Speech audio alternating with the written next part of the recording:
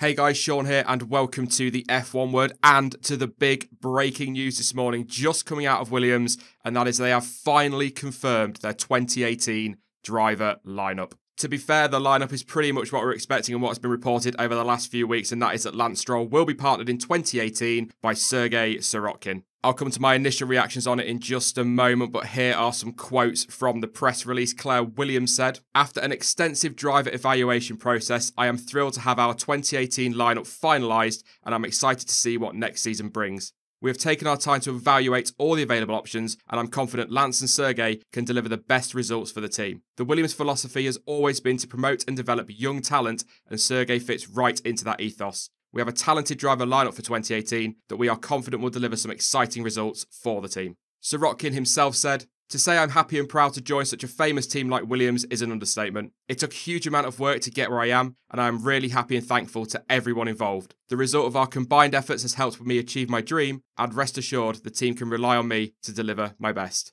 And finally, Paddy Lowe added, we have conducted a rigorous and exhaustive driver evaluation process. Ultimately, Sergey impressed the team with his driving pace and talent, technical feedback, and work ethic, both at the factory and trackside in Abu Dhabi. I'm delighted he'll be joining the team to partner Lance next season. So it is two paid drivers for Williams in 2018, as we kind of expected based on reports over the last few weeks. I think firstly, as a reaction, I need to say Sergey Sirotkin is not a bad driver. He's a good driver. He's not been sensational in lower formula, but he has been good. He's still young, he has time to develop, and that's important. The problem for me is he should be developing in Formula 2 or as a reserve driver. He should not be coming in with a bit of money, slapping it on the table and saying, I'll take that drive, thank you very much. I'm sure some of you have seen my rant on pay drivers and you know how much it really gets my back up. Yes, okay, pay drivers are a part of Formula 1. It makes perfect business sense. But we want to see the best drivers, not the best backed drivers. And once again, before the comments start filling up, Sergey Sirotkin is not a bad driver. He was good last year. I didn't look at Sergey Sirotkin and say that kid should be in Formula One. There is talent out there, George Russell, Oliver Rowland, who absolutely should be in that car. Not to mention Pascal Wehrlein, and you could even argue for Robert Kubica. A lot of people wanted him to get that seat. I can understand why Williams haven't in some respects. There are risks there with Robert Kubica, but he would have bought money as well. I just find it massively frustrating that a team that Sergey Sirotkin has already talked about as being steeped in history and one of the great names of Formula One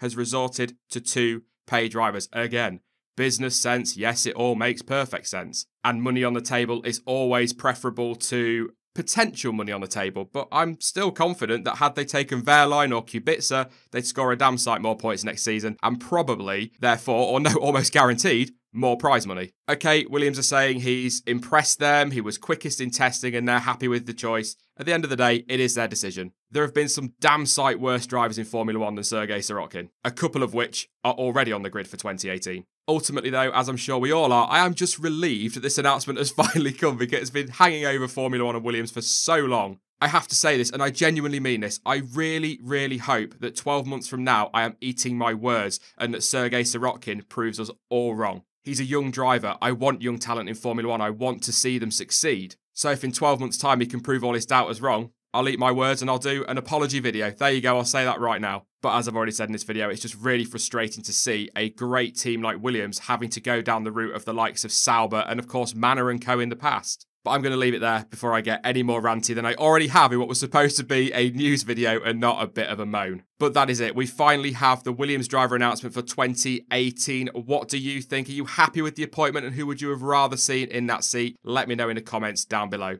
I will be back very, very soon. In fact, sooner than you could probably imagine tonight with my Enaam Ahmed interview. Make sure you come along for that one, guys. But in the meantime, don't forget to follow me on social media. Links to Facebook, Twitter, and Discord are all in the description down below. But as ever, thank you for watching. I've been Sean. This has been the F1 Word. And until next time, goodbye.